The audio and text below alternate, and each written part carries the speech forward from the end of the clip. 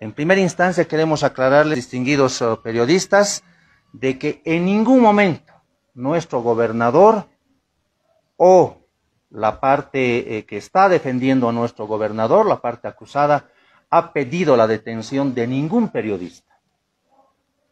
En segundo hecho, y muy claro lo quiero decir con documentación, dentro del proceso que tenemos de difamación, que no tiene que ver con ningún otro proceso ni caso, que tiene que ver con un tema de difamación que hace el señor Jaime, Osvaldo Jaime Flores, ¿no? que obviamente eh, va a mellar la dignidad de nuestro gobernador al indicar de que nuestro gobernador estaba en otros actos, cuando él obviamente estaba haciendo actos por gestión por el 10 de noviembre en la ciudad de La Paz.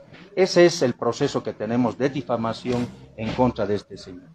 Y va a ser justamente Osvaldo Jaime Flores dentro del proceso quien va a proponer como testigos de descargo a dos periodistas. Dos periodistas. El periodista que lamentablemente se nos tergiversa y se nos dice que nuestro gobernador haya pedido su detención. Mentira. Aquí está. Germán Toto Vidaure y al periodista Ervin Valda. ¿Quién lo propone?